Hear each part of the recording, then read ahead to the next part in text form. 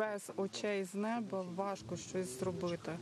Е, Любі групи, які висуваються, вони використовують коптери, тому що коптером вони продивляються, що попереду, чи є ворожа техніка, чи є піхота, і це береже людське життя. Мобільна група аеророзвідки ЗСУ запускає свою пташку неподалік Бахмуту, зовсім поряд із позиціями окупантів. Безпілотник українського виробництва Лелека 100 незамінний помічник військових на полі бою.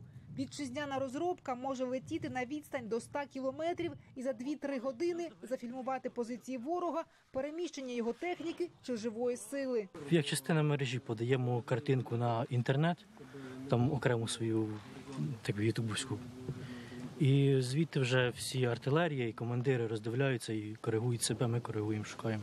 Лелеки допомагають нашим військовим на фронті ще з 2015-го. Оператори кажуть, хоч за певними параметрами ці дрони поступаються західним розробкам, вони добре себе зарекомендували. До всього їхня перевага відносно невисока ціна та доступні деталі.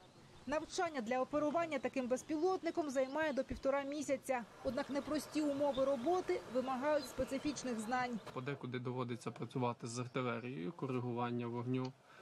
Тобто для цього потрібно розумітися по карті. Також по так як е, переважно нема навігації зараз в цих краях, відповідно потрібно орієнтуватися по карті для того, щоб без навігації по камері повернути літак додому. Лелека найпоширеніший український безпілотник, що стоїть на озброєнні ЗСУ. Вони не лише ведуть спостереження.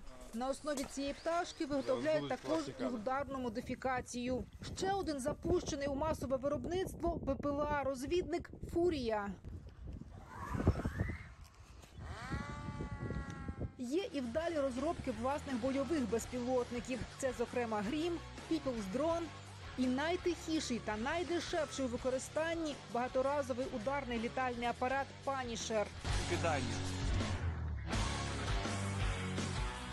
Інтерес до дронів, що здатні виконувати різноманітні завдання, у світі завжди був високим і ще більше зріс на тлі повномасштабної російської війни проти України. І нашій країні є що запропонувати і покупцям, і потенційним інвесторам. Їх уряд намагається звабити унікальними умовами для випробувань, виробництва та ведення бізнесу. Зараз в Україні близько 100 виробників безпілотних літальних апаратів. Більшість із них працюють у стелс режимі та надають ці безпілотники безпосередньо військовим для тестування з миттєвим відгуком. Тому зараз Україна має найкраще, найбільш інноваційне середовище для розробки військових безпілотників. І саме тому ми хочемо показати цю можливість усім гравцям галузі прийти, інвестувати, виробляти свої безпілотники в Україні. Щоб стимулювати виробництво дронів, Україна скасувала мито та ПДВ на ввезення деталей та комплектовання, а також максимально спростила допуск БПЛА до експлуатації, закупівлі та постачання на фронт. Потреба ЗСУ у них величезна, адже у середньому на передовій такі прилади переживають лише два десятки вильотів. Ольга Жидецька, подробиці, телеканал Інтер, марафон. Єдині новини.